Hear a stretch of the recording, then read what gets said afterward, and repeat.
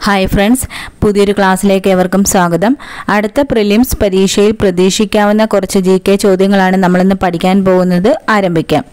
മത്സ്യഗ്രാമങ്ങളുടെ സമഗ്ര വികസനം ലക്ഷ്യമാക്കി ഫിഷറീസ് വകുപ്പ് നടപ്പിലാക്കുന്ന പദ്ധതി ഏതാണ്? മാതൃകാ മത്സ്യഗ്രാമം. മത്സ്യഗ്രാമങ്ങളുടെ സമഗ്ര വികസനം ലക്ഷ്യമാക്കി ഫിഷറീസ് വകുപ്പ് നടപ്പിലാക്കുന്ന പദ്ധതിയാണ് മാതൃകാ മത്സ്യഗ്രാമം പദ്ധതി.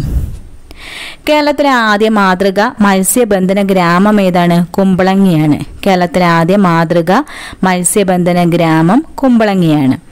ഉൾനാടൻ മത്സ്യ സമ്പന്നത വർദ്ധിപ്പിക്കാൻ കേരള സർക്കാർ ഫിഷറീസ് വകുപ്പിന്റെ പദ്ധതി ഏതാണ്? ഒരു നെല്ലും ഒരു മീനും. ഉൾനാടൻ മത്സ്യ സമ്പന്നത വർദ്ധിപ്പിക്കാൻ കേരള സർക്കാർ ഫിഷറീസ് വകുപ്പിന്റെ പദ്ധതിയാണ് ഒരു നെല്ലും ഒരു മീനും. ജൈവ കൃഷി മാതൃകയിൽ മത്സ്യകൃഷി ജനകീയമാക്കാനുള്ള കേരള ഫിഷറീസ് വകുപ്പിന്റെ പദ്ധതി ഏതാണ്? മുറ്റത്തൊരു മീൻതോട്ടം.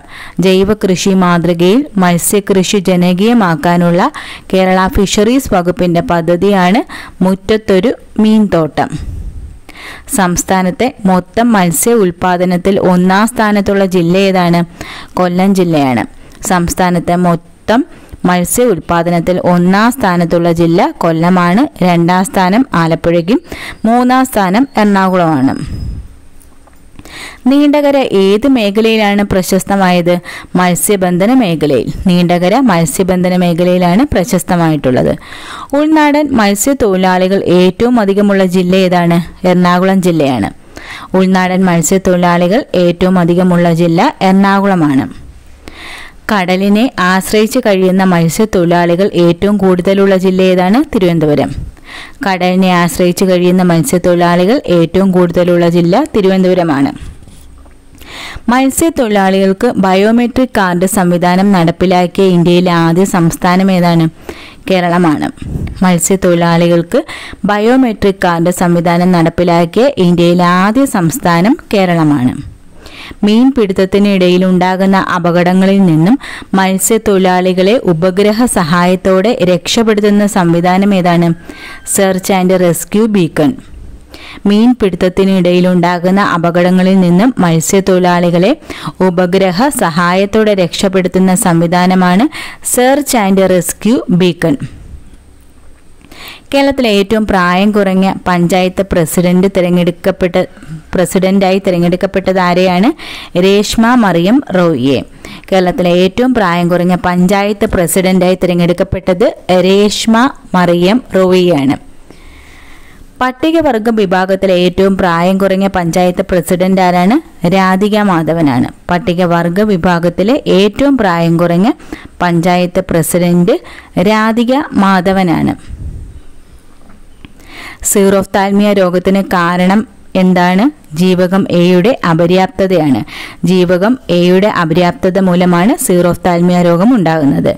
മങ്ങിയ വെളിച്ചത്തിൽ കാഴ്ച സാധ്യമാകാത്ത അവസ്ഥ ഏതാണ്? നിശാന്തത. മങ്ങിയ വെളിച്ചത്തിൽ കാഴ്ച സാധ്യമാകാത്ത അവസ്ഥയാണ് നിശാന്തത. നിശാന്തതയ്ക്ക് കാരണം എന്താണ്? ജീവകം എയുടെ അപര്യാപ്തതയാണ്. ജീവകം എയുടെ അപര്യാപ്തത മൂലമാണ് നിശാന്തത ഉണ്ടാകുന്നത്. നിറങ്ങൾ തിരിച്ചറിയാൻ കഴിയാത്ത അവസ്ഥ ഏതാണ്? വർണാന്തതയാണ് നിറങ്ങൾ തിരിച്ചറിയാൻ കഴിയാത്ത അവസ്ഥ വർണാന്തതയാണ് വർണാന്തതയുള്ളവർക്ക് തിരിച്ചറിയാനാവാത്ത നിറങ്ങൾ ഏതൊക്കെയാണ്? ചുവപ്പും പച്ചയും. വർണാന്തതയുള്ളവർക്ക് തിരിച്ചറിയാനാവാത്ത നിറങ്ങൾ ചുവപ്പും പച്ചയുമാണ്. വർണാന്തത ബാധിച്ചയാൾക്ക് തിരിച്ചറിയാൻ കഴിയുന്ന നിറങ്ങൾ ഏതൊക്കെയാണ്? നീല. വർണാന്തത ബാധിച്ചവർക്ക് തിരിച്ചറിയാൻ കഴിയുന്ന നിറം നീലയാണ്. വർണാന്തത കണ്ടുപിടിച്ചത് ആരാണ് ജോൺ ഡാൾട്ടൺ ആണ് വർണാന്തതയുടെ മറ്റൊരു പേരെന്താണ്? ഡാൾട്ടനിസം. വർണാന്തതയുടെ മറ്റൊരു പേര് ഡാൾട്ടനിസം എന്നാണ്. വർണാന്തത നിർണയിക്കാനുള്ള പരിശോധന ഏതാണ്? Ishihara test. വർണാന്തത നിർണയിക്കാനുള്ള പരിശോധനയാണ് ഇഷിഹാര ടെസ്റ്റ്. ചലനശേഷി ഏറ്റവും കൂടിയ സന്ധി ഏതാണ്? ഗോളര സന്ധി. ചലനശേഷി ഏറ്റവും കൂടിയ സന്ധി ഗോളരസന്ധിയാണ് ഗോളരസന്ധിക്ക് ഉദാഹരണം തോളൽ ഇടുപ്പൽ എന്നിവയാണ്. ഒരു ദിശയിൽ മാത്രം ചലിപ്പിക്കാൻ കഴിയുന്ന സന്ധികൾ ഏതൊക്കെയാണ്? വിജാഗിരി സന്ധിയാണ്. അതിന് ഉദാഹരണം കൈമുട്ട് കാൽമുട്ട് വിരലുകൾ എന്നിവയിലെ സന്ധികളാണ്. ഒരു ദിശയിൽ മാത്രം ചലിപ്പിക്കാൻ കഴിയുന്ന സന്ധികൾ ഏതാണ്? വിജാഗിരി സന്ധി. പാലക്കാട് പ്ലാച്ചിമടയിലെ കൊക്കക്കോള ഫാക്ടറി ഭൂഗർഭജലം അമിത ചൂഷണം ചെയ്യുന്നതിനും പരിസ്ഥിതി മലിനീകരിക്കുന്നതിനുമെതിരെ രണ്ടായിരത്തി രണ്ട് മുതൽ നടന്നു വന്ന സമരം ഏതാണ്? പ്ലാച്ചിമട സമരമാണ്. പ്ലാച്ചിമട സമരനായിക ആരാണ്? മയിലമ്മ. പ്ലാച്ചിമട സമരനായിക മൈലമ്മയാണ് ഉത്തര കേരളത്തിൽ എൻഡോസൾഫാൻ എന്ന കീടനാശിനിയുടെ വ്യാപകമായ ഉപയോഗത്തിനെതിരെ നടന്ന സമരം ഏതാണ്? എൻഡോസൾഫാൻ വിരുദ്ധ സമരമാണ്.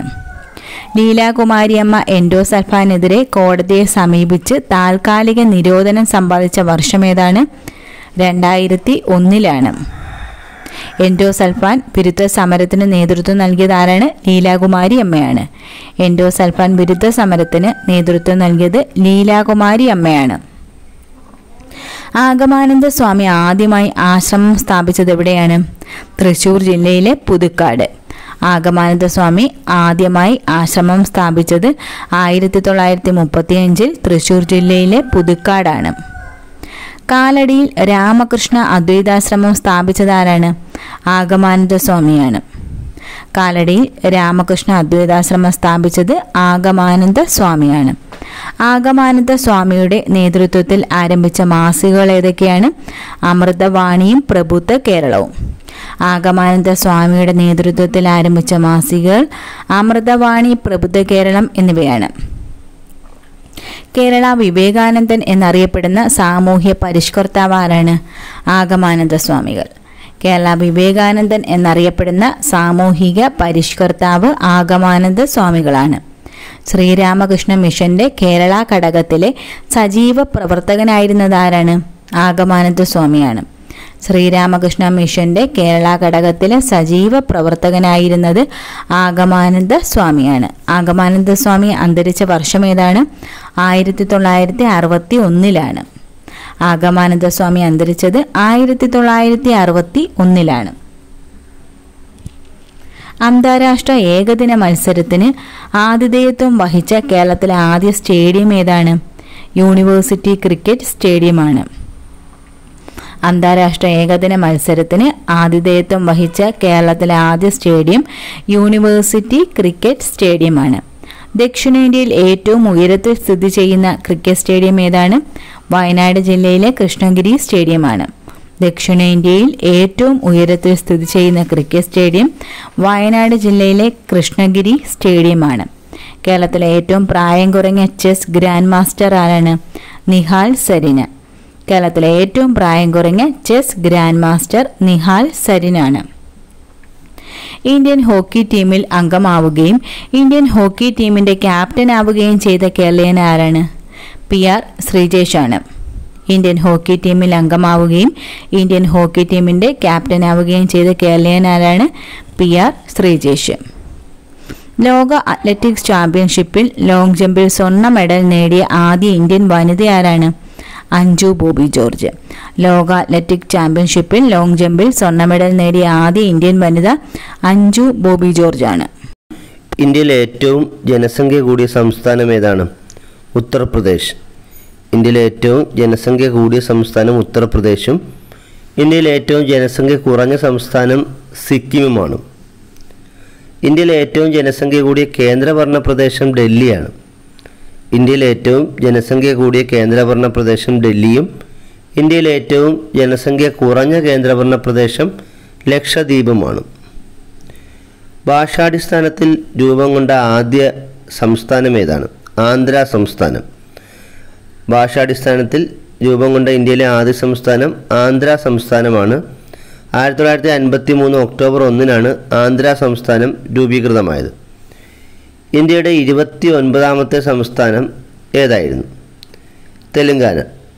നിലവിൽ ഇന്ത്യയിൽ ഇരുപത്തെട്ട് സംസ്ഥാനങ്ങളേ ഉള്ളൂ. എന്നാൽ ഇന്ത്യയിൽ ഇരുപത്തൊമ്പതാമതായി നിലവിൽ വന്ന സംസ്ഥാനമാണ് തെലുങ്കാന. തെലുങ്കാന സംസ്ഥാനം നിലവിൽ വന്ന എന്നാണ്. രണ്ടായിരത്തി പതിനാല് ജൂൺ രണ്ടിന്. തെലുങ്കാന സംസ്ഥാനം നിലവിൽ വന്ന രണ്ടായിരത്തി പതിനാല് ജൂൺ രണ്ടിനാണ്. ആന്ധ്രാപ്രദേശിനെ വിഭജിച്ച് തെലുങ്കാന സംസ്ഥാനം രൂപീകരിക്കാൻ ശുപാർശ ചെയ്ത കമ്മിറ്റി ഏതാണ്? B N Srikrishna commission. ആന്ധ്രാപ്രദേശിനെ വിഭജിച്ച് തെലുങ്കാന രൂപീകരിക്കാൻ ശുപാർശ ചെയ്ത കമ്മിറ്റി ബി എൻ ശ്രീകൃഷ്ണ കമ്മീഷനാണ്. ദേശീയ മനുഷ്യാവകാശ കമ്മീഷന്റെ ആസ്ഥാനം എവിടെയാണ്? സർദാർ പട്ടേൽ ഭവനാണ്. ന്യൂഡൽഹിയിലെ സർദാർ പട്ടേൽ ഭവനാണ് നിലവിൽ ദേശീയ മനുഷ്യാവകാശ കമ്മീഷന്റെ ആസ്ഥാനം. ഇവിടെ തിരിച്ചാണ് കൊടുത്തിട്ടുള്ളത്. നിലവിൽ ദേശീയ മനുഷ്യാവകാശ കമ്മീഷന്റെ ആസ്ഥാനം ന്യൂഡൽഹിയിലെ സർദാർ പട്ടേൽ ഭവനാണ്. മുമ്പ് ഇതിന്റെ പേര് മാനവ് അധികാർ ഭവൻ എന്നായിരുന്നു. ദേശീയ മനുഷ്യാവകാശ കമ്മീഷൻ ചെയർമാനെയും അംഗങ്ങളെയും നിയമിക്കുന്നതും നീക്കം ചെയ്യുന്നതുമൊക്കെ ആരാണ്? ഇന്ത്യൻ രാഷ്ട്രപതിയാണ്. ദേശീയ മനുഷ്യാവകാശ കമ്മീഷൻ ചെയർമാനെയും അംഗങ്ങളെയും നിയമിക്കുന്നതും നീക്കം ചെയ്യാനും അധികാരമുള്ളത് രാഷ്ട്രപതിക്കാണ്.